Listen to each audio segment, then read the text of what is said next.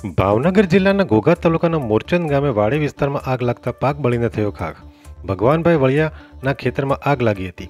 બનાવ અંગે ફાયર વિભાગને જાણ કરવામાં આવતા ફાયરની ટીમ તાત્કાલિક સ્થળ પર પહોંચી હતી અને ખેતરમાં લાગેલ આગ પર પાણીનો મારો ચલાવી આગને કાબૂમાં લીધી હતી.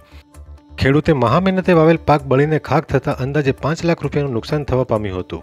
અહેવાલ ફિરોઝ મલેક, ભાવનગર.